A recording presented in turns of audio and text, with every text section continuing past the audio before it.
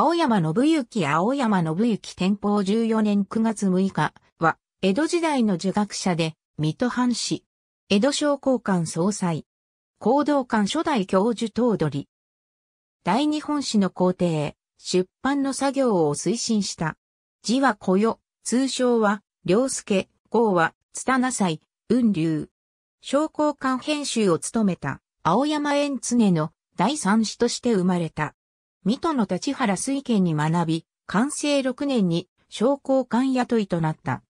編集などを経て、文政6年に湘南土役上座学となって、江戸の商工館総裁に任ぜられ、会員を特例して、大日本史の皇帝と出版の作業を推進した。文政9年から、水戸藩主、徳川成信の命により、東藩文献史の編纂を主催し、文政12年までにその走行をほぼまとめ上げた。文政12年、成信が亡くなると、その性質が将軍、徳川家成の娘だったことから中山新守や大久保今助ら門閥派が家成の二十男である、幸之助を養子に迎えようとしたため、青山は戸田忠下優、藤田東子、安島立脇、相沢聖司祭、武田幸運祭ら柏派と組んで成信の弟である徳川成明を擁立して構想し、その結果、成明が藩主についた。天保元年に商工官総裁を辞して水戸に戻ったが、間もなく諸院番となり、天保3年には通事となった。天保11年には故障頭に干せられたが、同年、開館に先立って、藩校行動館の初代教授頭取に任ぜられた。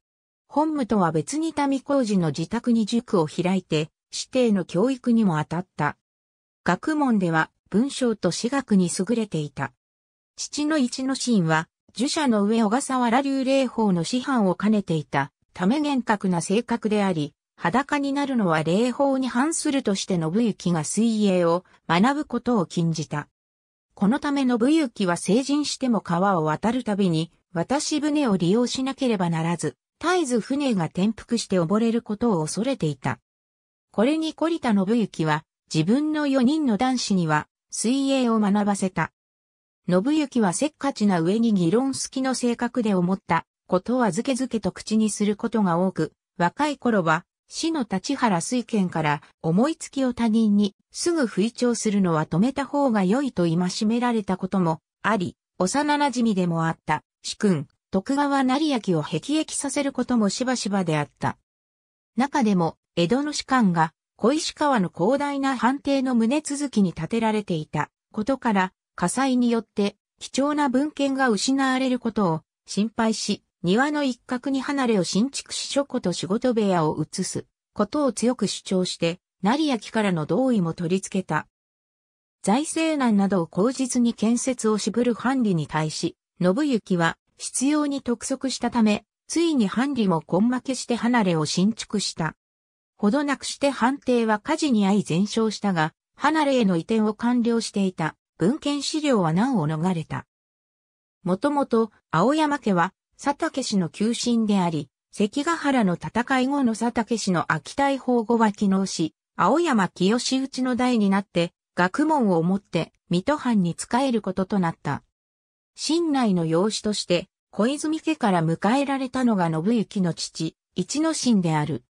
一之進は、妻との間に子をなさなかったため、港の海産物商に川屋から娘を迎え、信行が生まれた。実母は、従者の家の窮屈な暮らしを嫌い、信行出生後ほど亡くして実家に戻った。ありがとうございます。